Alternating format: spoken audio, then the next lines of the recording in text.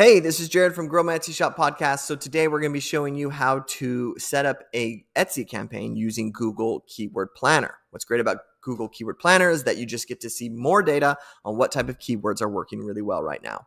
So the first thing I'm going to do is get my ugly mug off of the screen here. So let's do that.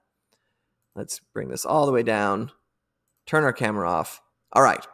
So what you're going to do first is you're going to go to a, you either need to create or go to your Google Ads. So you go to ads.google.com. That takes you to this um, page. You'll click sign in on the right hand side, and then you either need to create an account, which you could just use your Google account, or you can uh, sign in if you have one. Once you're signed in, it's going to look like this. What you're going to do from here is you're going to go to tools and then go to keyword planner. That's right here, except it should look like this. So you'd go to tools, planning keyword planner. If you happen to be under the old design, it would look like this, where you'd go to tools and then you'd go to keyword planner from here. Okay, so from these two, if you have a list of keywords and you just want to check them out and see how they're doing on Google, you would click on this.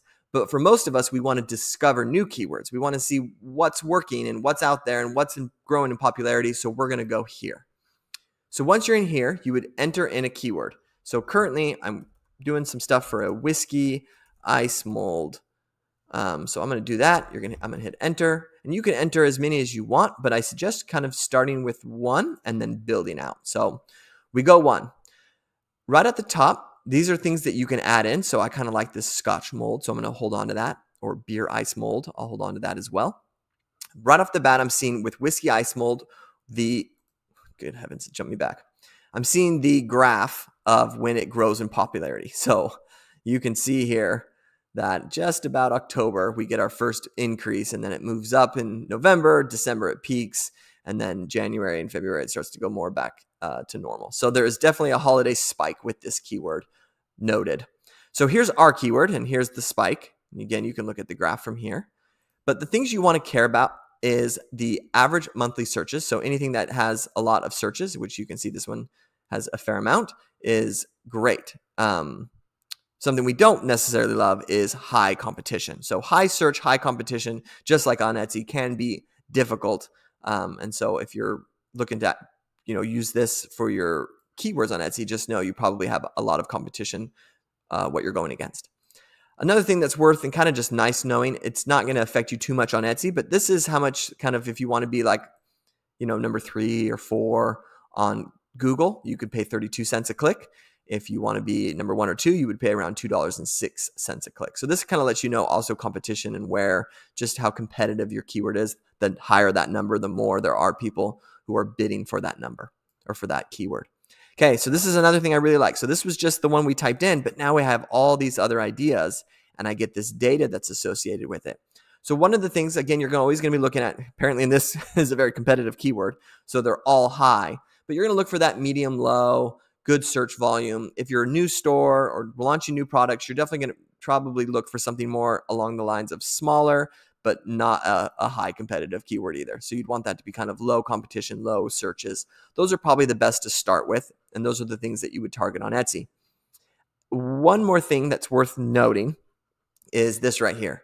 So this is how much increase we're seeing for specific keywords. And so you can see this whiskey ice cube tray has actually seen a boost of 22% in the last three months and up 177%. So this is Google's data. Sometimes Etsy takes a bit of time to catch. In fact, Etsy tends to be a little bit behind. So if you see something with a big spike like this, that might be a good way to create a listing. And what you do is you essentially start your listing with this exact phrase whiskey ice cube tray. You'd want to say it just like that. So if you want to play around with this, so for example, I might want to add scotch in there. Um, I'm going to turn this one off and just do Scotch. I can now see other keywords, the Scotch keyword, which is actually a very low search and high competition, but I can see other things that they recommend to me. And then you can go through the pages and you might say, yes, I like this one. This is a strange one. Looks like it does the opposite of our other one. Uh, let's go. These are all kind of bizarre ones. Um, best whiskey ice mold. Let's just say I like this one, though I don't. It has 10 and is a high competitive. But if I did, you just click it and you click copy.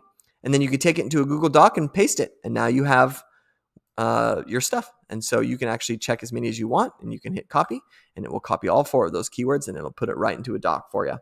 So this is a great way to use Google Keyword Planner to just kind of forecast what's happening. Again, you're looking at these numbers and being able to create listings from that. Hopefully this video was helpful for you.